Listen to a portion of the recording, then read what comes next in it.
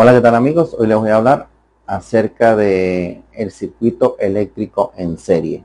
Este tipo de circuito se utiliza cuando nosotros estamos o queremos una luz tenue o baja con diferentes lámparas.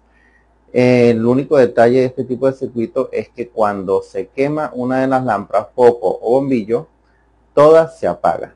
Entonces, pues hay que ver cuál es la que se quemó para reemplazarla y lógicamente vuelven a encender todas de manera normal. Este tipo de conexión se utiliza sobre todo en las tascas, las discotecas, en los clubes o también lo podemos aplicar en nuestra casa si, si queremos tener un tono de luz suave, tenue, que no sea tan intensa para ciertas zonas de nuestra casa. Entonces, a continuación les voy a explicar cómo se hace este tipo de circuito.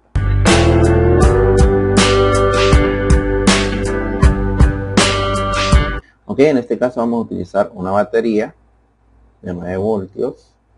Vamos a usar, vamos a hacer un circuito de tres lámparas en serie, su respectiva boquilla y bombillo o foco. Y por supuesto vamos a utilizar el interruptor.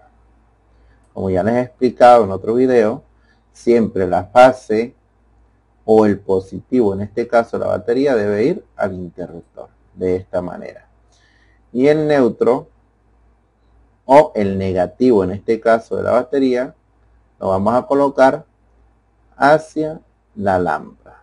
La última lámpara que vamos a conectar en este caso. Luego, del apagador vamos conectando de manera en serie una boquilla con la otra o una lámpara con la otra como se ve acá en la ilustración. De esta manera nos quedaría el circuito eléctrico en serie. Una vez que accionemos el interruptor, vemos cómo encienden las lámparas y observamos que tienen poca iluminación. Eso es debido a que están en serie.